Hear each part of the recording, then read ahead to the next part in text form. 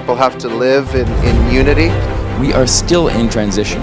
Civil society has been decimated. Of course, we rely on media. And I think the government has not done enough. The international community has failed to respond. No place in the world is perfect.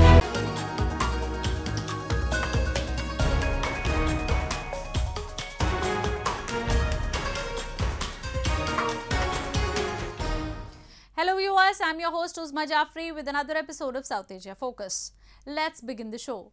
As the second COVID wave has left Indian health system in dire straits, the common citizens have stepped up and joined the authorities in fight. From quarantine centers to ICU facilities, different communities are coming up with all forms of assistance to strengthen the fight. Meanwhile, in Pakistan and Himalayan nation Nepal too, the second wave is gaining pace. Nepal's positivity rate has gone as high as 44%. Pakistan has rung alarm bells after strains first detected in Brazil and South Africa were found in fresh infections.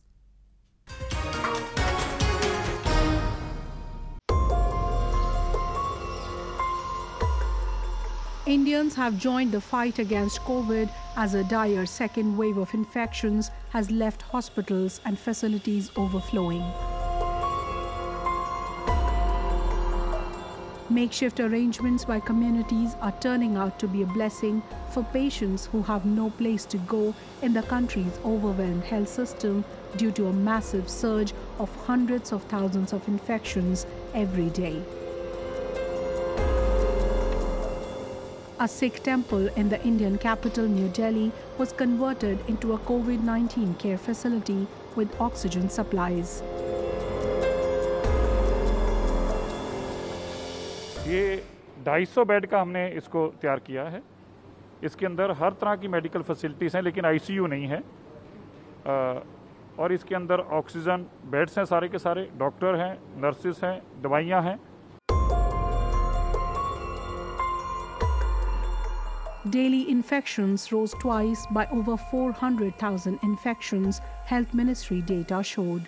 The number has been in excess of 300,000 every day for the past two weeks.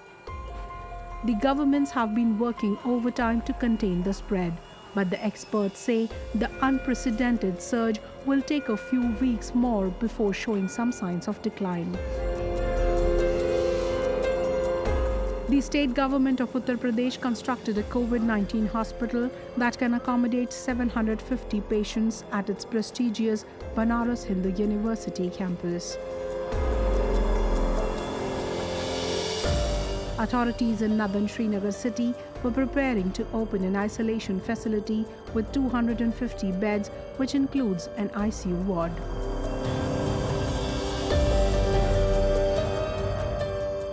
In this hospital, we have an intensive care unit.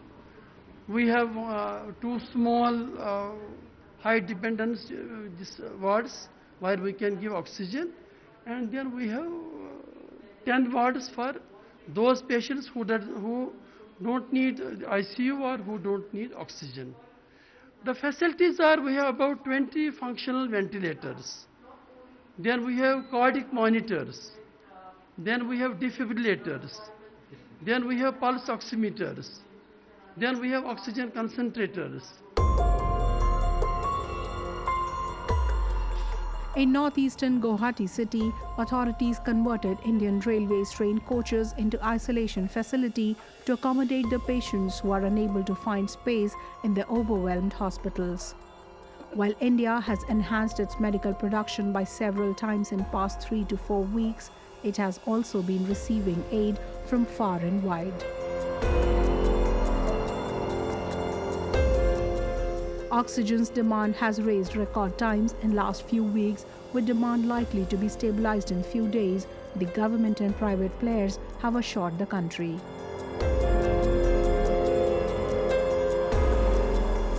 Meanwhile, India's neighbor Nepal too is being overwhelmed by a COVID-19 surge. Nepal is now recording 57 times as many cases as a month ago, with positivity rate reaching bordering 44%. Nepalese towns near the Indian border could not cope with the growing number of people needing treatment, while only 1% of country's population was fully vaccinated. The new wave has seen a shortage of hospital beds and medical supplies across the Himalayan nation.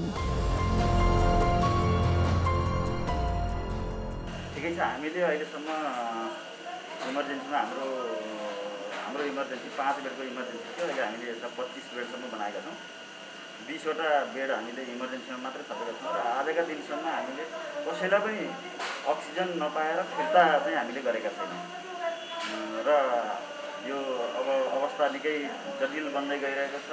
यद्यपि हाम्रो साथीहरू निकै खटिरहनु भएको छ चाहिँ चौबिस घन्टा duty गर्नुभएको छ अहिले तपाईँहरू जुन देखिरहनु भएको छ हामी अहिले पनि कुर्सीमा राखेर पनि अक्सिजन लगाइरहेछौँ। हाम्रो एउटा चाहिँ सबैभन्दा चाहिँ राम्रो हामीले गर्न सकेको भनेको चाहिँ अक्सिजन नपाएर कसैलाई फिर्ता गर्नु गरेका छौँ। Meanwhile, Pakistan has detected two coronavirus variants first identified in Brazil and South Africa.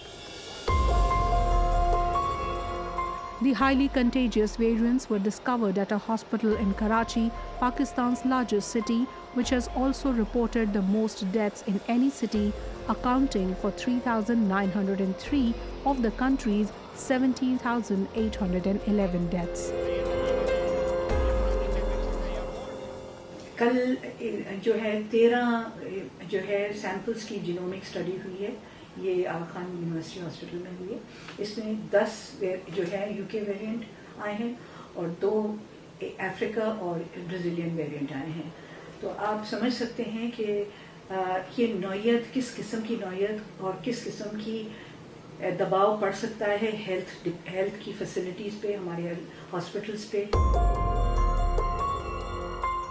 Pakistan has seen record deaths in recent days from the coronavirus, and stricter restrictions on movement and gathering in public are planned for the upcoming Eid holiday. Officials are worried the country's healthcare system, already under strain, could reach breaking point if more contagious variants of the virus begin to spread. As pandemic sweeps the country, India's allies and friends around the world have lent their moral and material support. In Sri Lanka, the country with which India's relationship has thrived on shared values, people held prayers for India's recovery from the second wave. Others have been sending plane loads of medical assistance to strengthen its fight. Observers say the country will experience its peak by mid-May this year and a further ramping up of facilities is required at the moment. In a gesture expressing concern for the people of neighboring India, Buddhist monks in Sri Lanka prayed for the improvement of situation in India that stands ravaged by the coronavirus. Monks at the historic Kelaniya Buddhist temple began chanting the holy Ratna Sutra verse. The sutra was first preached by Buddha more than 2600 years ago when a pandemic had devastated the ancient Indian kingdom of Vassala. Since then, the sutra is recited during times of hardship, believing the practice would eradicate the pandemic. When Sri Lanka was shut down due to the virus in March last year, Buddhist clergy recited the sutra every night for one month. Our neighbor, the Indian people, suffer a lot because of this COVID uh, 19. Actually, as a religious people, and also uh, especially the Buddhist monks and Buddhist people in this country, want to share uh, the our sympathy with the people of India. India was one of the first countries to deliver vaccines to Sri Lanka under its Vaccine Maitri program a few months ago. Not just Sri Lanka, New Delhi had sent vaccines to dozens of countries. Now these countries have scrambled to support Delhi when the latter is recording unprecedented rise in cases. Plane loads of ventilators, medicines and oxygen equipment have been pouring into India from countries including the UK and the US.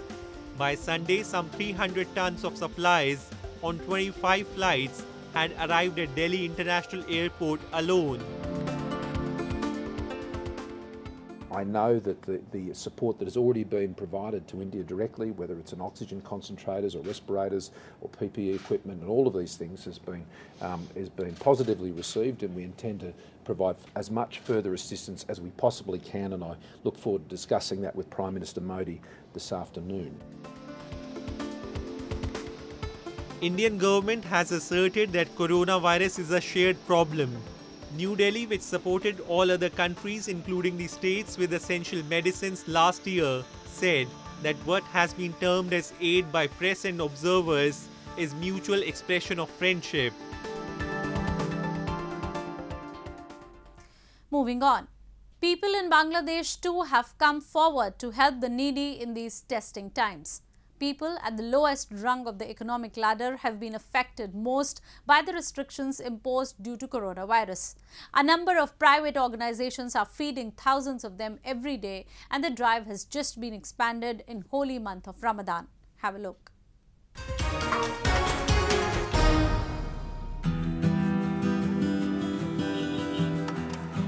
A group of volunteers in Bangladesh's capital Dhaka is dishing up free Ramadan meals for the poor amid an extended lockdown in the country that has been imposed to curb the spread of coronavirus. Dozens of people could be seen queuing up by midday to pick up iftar, the meal that Muslims eat after sundown to break their fast during Ramadan.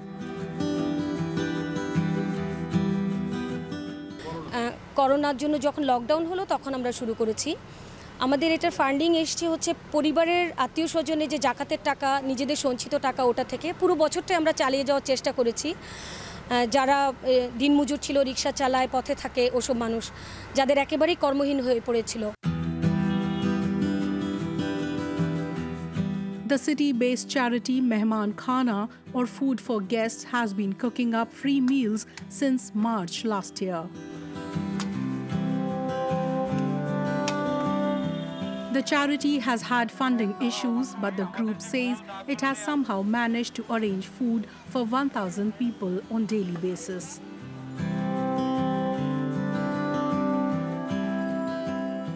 তো এই বছরও লকডাউনের পর থেকে আমরা আবার শুরু করেছি।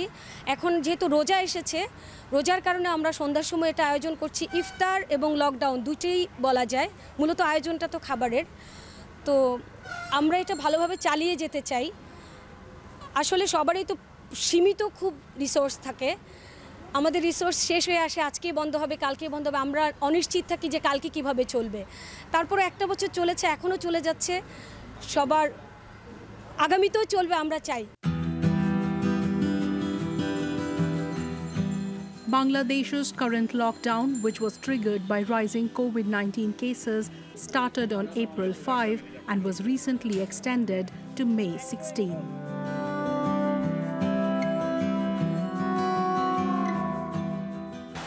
করোনার ভিতরে আমার চাকরি নাই এখন আমি ইফতারির জন্য এখানে আসছি আমার কোনো কাজ নাই চাকরি শেষ। রোজা ছিলাম তো রৌদ্র পরিশ্রম তো ইনকাম তো এরকম হয় না ইফতার কিনা খাওয়ার মতো সামর্থ্য নাই। এখানে এসে দেখলাম ইফতার ফ্রিতে দিতেছে তো রিক্সা সাইড করে ইফতার ফ্রিতে নিলাম। The second wave of COVID 19 has again dealt a huge blow to the informal sector of Bangladesh when around 50 million people who work on a daily wage basis are unable to cope with the fallout caused by the pandemic.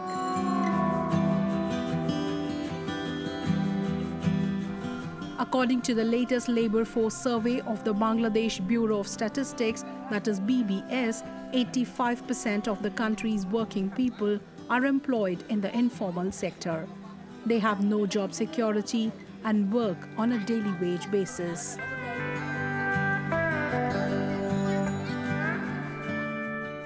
And now, in our section of Asia this week, the stories from across the continent that made news this week.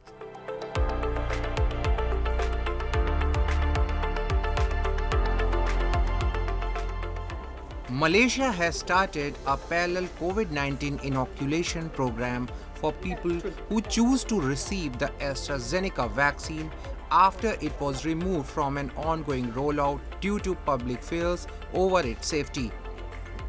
Though reports of possible links to very rare blood clots have dented confidence in the shot in Malaysia and elsewhere. The slots for 2,68,000 doses were filled in just three hours after booking were opened. Recipients said that they felt relieved after receiving their first shot of the vaccine as the country faces a recent spike in coronavirus cases.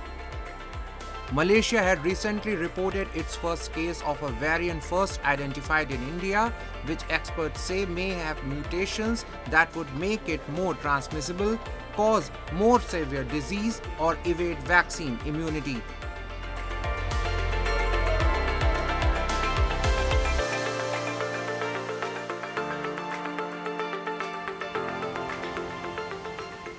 A leading Myanmar swimmer has called for an international boycott of his country's Olympic Committee on branding it a puppet of a military regime ruling the stripped-on Southeast Asian nation.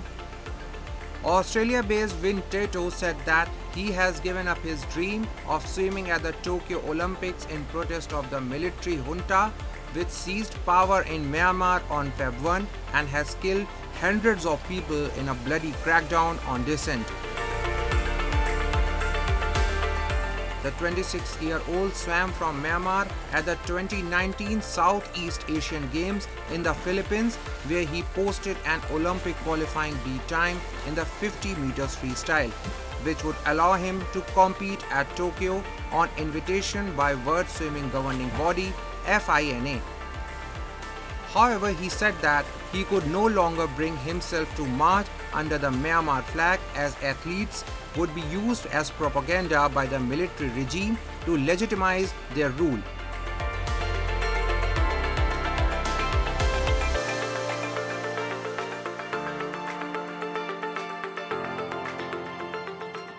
Sakura cherry blossom is the most famous scenic beauty in Japan.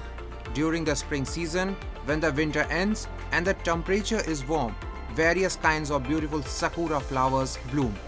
In Japan, cherry blossoms bloom from south area to north.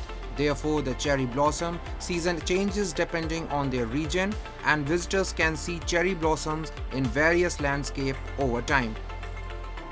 Minato Mirai area in Yokohama city is a modern port town.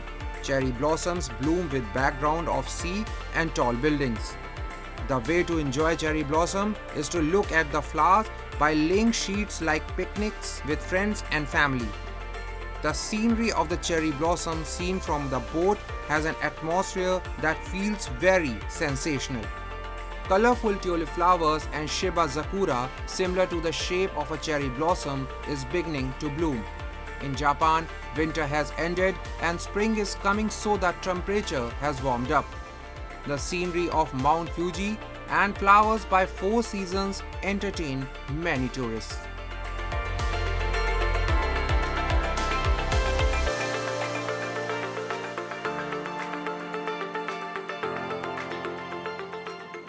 Located in Shibuya, this public park is a popular place for relaxation. The view of the toilet in the park feels in harmony with the place thanks to the texture and warmth of wood. This park's toilet color is white and has an art design on the roof. A renowned architect has designed this toilet. The unique toilet project is the Tokyo Toilet operated by the Nippon Foundation. The colorful and clear toilet has a unique device. The space inside is transparent from outside. クがかかっていない状態ですと中がスケスケの状態になっています。でスケスケの理由としましては中に人がいないかどうかっていうのを確認できる。プラス中がきれいな状態であるかということを入る前に確認ができるようになっています。では入ってみます。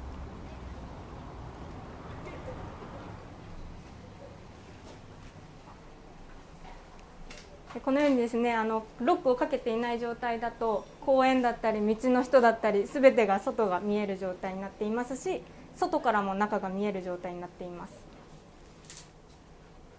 ではドアを閉めてみます。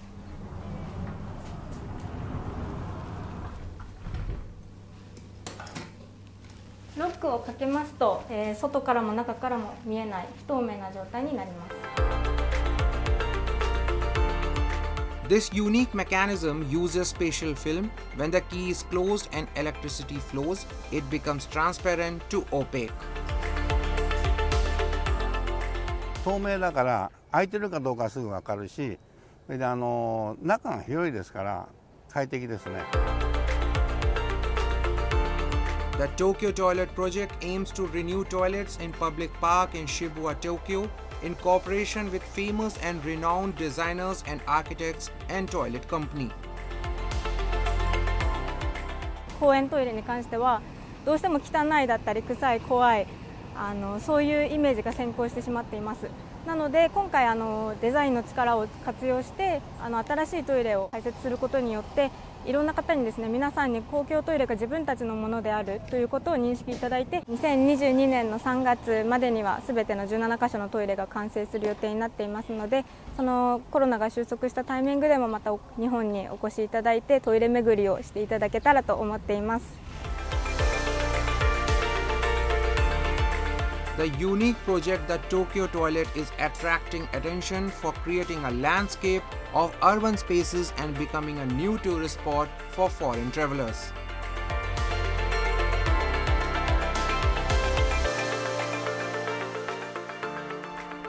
Moving on. Now we take you to various Sikh shrines in India where Sikh devotees gathered to mark the auspicious 400th birth anniversary of their ninth religious leader Guru Tegh Bahadur. He is famous for his supreme sacrifices and known as a great teacher, excellent warrior, thinker and poet who wrote detailed descriptions of the nature of God. Sikh devotees gathered at Golden Temple, the Sikhism's holiest shrine in India's northern Amritsar city, to pray to their ninth religious leader, Guru Tegh Bahadur, on his 400th birth anniversary. Devotees took a dip in the holy pond inside the temple premises. Usually on this auspicious day, the Golden Temple is packed with huge crowds. However, due to the ongoing second wave of coronavirus pandemic, fewer devotees were present. Corona ਕਰਕੇ ਸੰਗਤਾਂ ਥੋੜੀਆਂ ਘੱਟ ਨੇ ਕਾਫੀ ਘੱਟ ਨੇ ਸੰਗਤ ਕਾਫੀ ਜ਼ਿਆਦਾ ਘੱਟ ਹੈ ਪਰ ਜੇ ਇਹੀ ਕਰੋਨਾ ਮਹਾਮਾਰੀ ਨਾ ਹੁੰਦੀ ਇੱਥੇ ਬਹੁਤ ਸੰਗਤ ਨੇ ਭਰਪੂਰ ਪਰ ਇਹ ਸੰਗਤ ਬਹੁਤ ਮਨਾ ਰਹੀ ਹੈ ਦੇਸ਼ਾਂ ਵਿਦੇਸ਼ਾਂ ਅੰਦਰ ਮਨਾ ਰਹੀ ਸੰਗਤ In capital New Delhi, Prime Minister Narendra Modi visited a Sikh shrine, Sees Ganj Gurdwara, and offered prayers to mark the occasion. It is believed that Guru Tegh Bahadur's teachings remind Sikhs and non-Muslims in India to follow and practice their beliefs without fear of persecution and forced conversions by Muslims.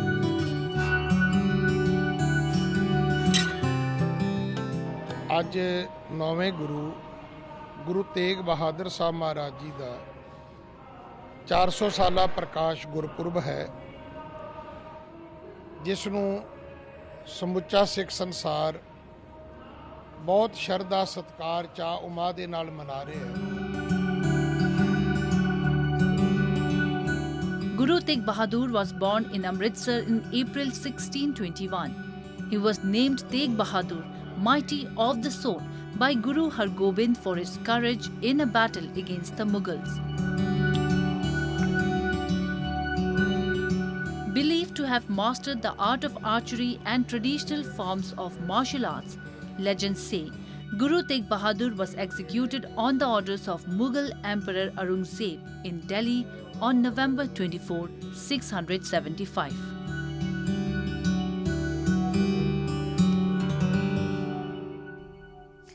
As per the beliefs, Guru Tegh Bahadur guided his followers towards the path of peace. With that, we come to the end of this week's episode. See you next week. Goodbye and take care.